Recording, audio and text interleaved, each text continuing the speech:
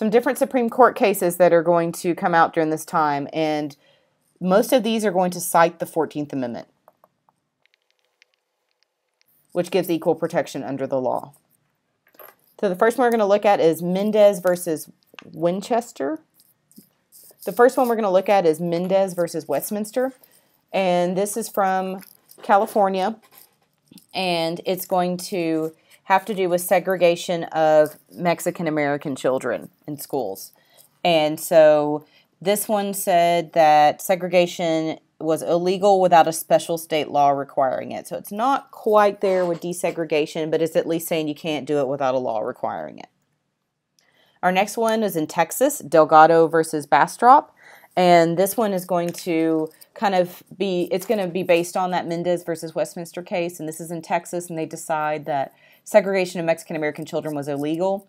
So they sued Bastrop ISD, claiming that the children, um, that the Mexican American children were being segregated from other children of the same race without a law.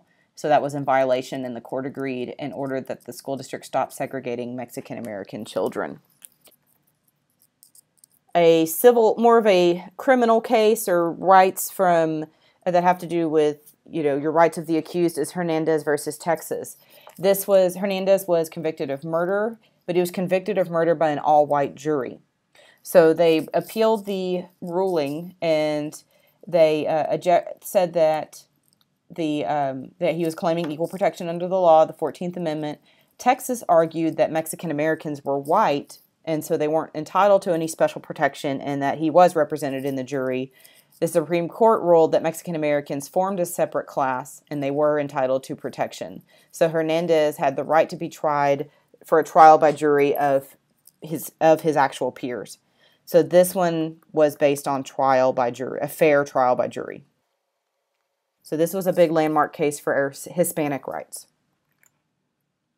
Next one, right, White versus Regester. This one is going to have to do with elections and districts, and there were some things with the Dallas and Bexar counties where um, they had done some things with the election bound with the boundaries for different members of their um, district that kept from certain minority groups of having representation. So this required them to have single member districts that would help ensure that these minorities would have representation. Next one is uh, Wisconsin versus, versus Yoder.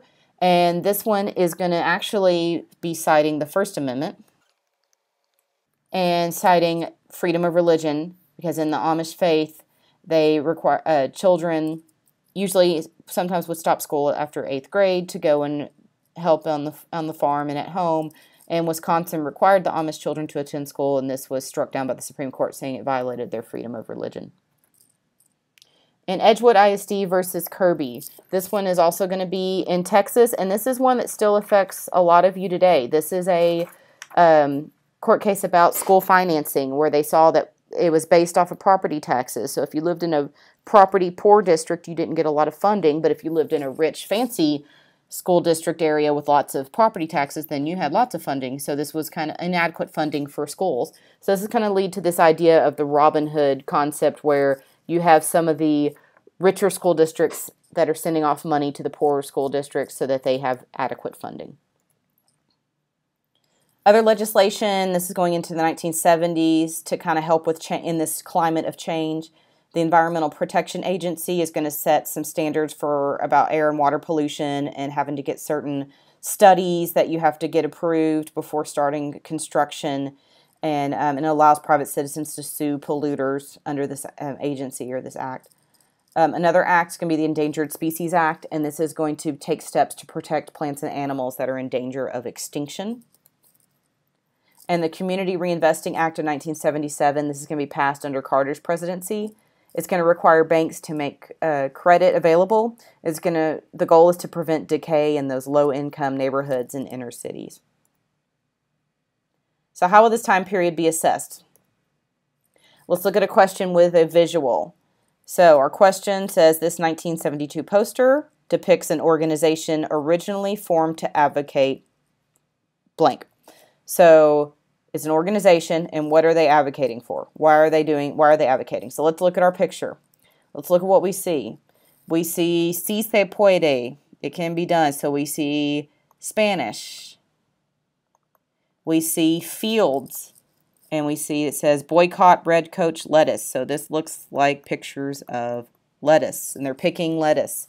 And again, I know from class we talked about work. Oh, I forgot to look at my source 1972 Chicago Women's Graphics Collective, just in case that would help me out.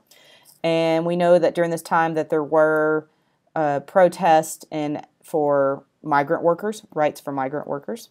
Okay, so maybe they're advocating for rights for migrant workers. Okay, so let's look at our answer choices. A, publicly funded health care for children. Well, we see nothing in the picture that has to do with health care. We see children, but nothing about health care for children. Better economic treatment of migrant workers. Well, we know from looking at this picture that those are most likely migrant workers, so let's keep that one in mind. A retirement system for farm laborers. Now we see a farm and we see farm laborers, but they aren't they don't boycott certain foods because of a retirement system. D, equal employment opportunities for women. Well, in this picture, we see men and women. Maybe if there was all women in the picture, we might think twice. So this one's incorrect. Our correct answer is going to be B. All right, this time we have a graphic.